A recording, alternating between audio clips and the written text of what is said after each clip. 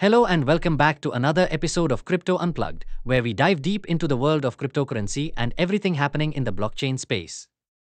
I'm your host, Senzi, and today, we've got a fascinating topic on the table central bank digital currencies, or CBDCs.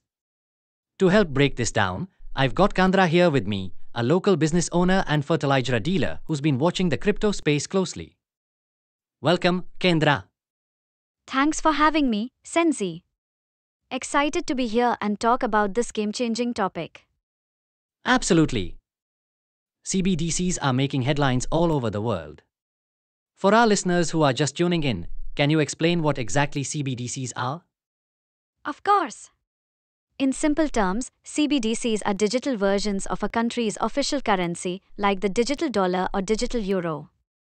Unlike cryptocurrencies like Bitcoin, CBDCs are issued and controlled by central banks, meaning they're fully regulated and backed by governments. Essentially, they aim to bring the efficiency and innovation of digital currency to the mainstream financial system. That's right. It's like getting the benefits of crypto but with the stability and regulation of traditional fiat money.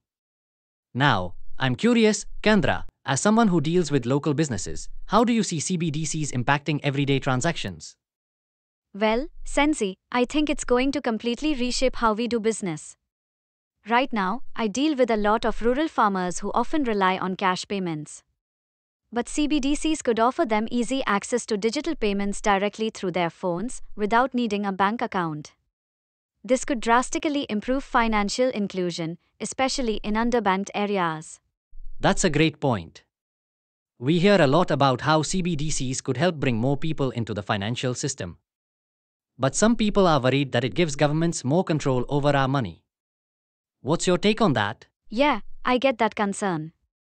The fear is that governments could use CBDCs to monitor every transaction, which raises privacy concerns. But on the flip side, having a traceable currency could help reduce things like tax evasion, fraud, and even corruption. It's really about finding a balance between innovation and protecting individual freedoms. Exactly.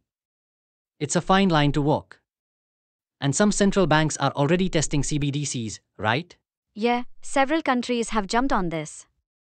China is leading the way with their digital yuan, and countries like Sweden and the Bahamas are already running pilots. The US and Europe are also looking into CBDCs, so it's just a matter of time before we see wider adoption.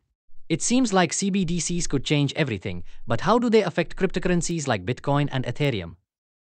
Will they be competitors or complement each other? That's a good question. I think CBDCs and cryptocurrencies will exist side by side, at least in the near term. CBDCs will likely be used for everyday transactions, while crypto will still offer more decentralized and privacy focused options.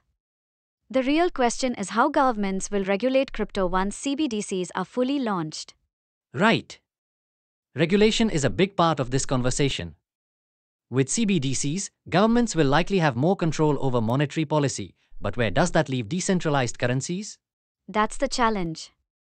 There's always going to be tension between centralized control and decentralization. But CBDCs could actually legitimize the digital currency space, making people more comfortable with using digital money overall, whether that's government backed or decentralized like Bitcoin. It's definitely an exciting space to watch. Before we wrap up, Kendra, what's one thing you think our listeners should keep an eye on as CBDCs become more mainstream? I'd say watch how your country approaches privacy and data security with CBDC's adoption is coming, but the real question is how much control you'll have over your own transactions. Stay informed and be sure to understand how it could impact your financial freedom. Wise words. Well, that's all the time we have for today. Thank you so much, Kendra, for joining me and breaking down the fascinating world of CBDCs. Thanks, Senzi. It was a pleasure. And to our listeners, thanks for tuning in to this episode of Crypto Unplugged. Don't forget to subscribe and stay updated with the latest in the world of cryptocurrency.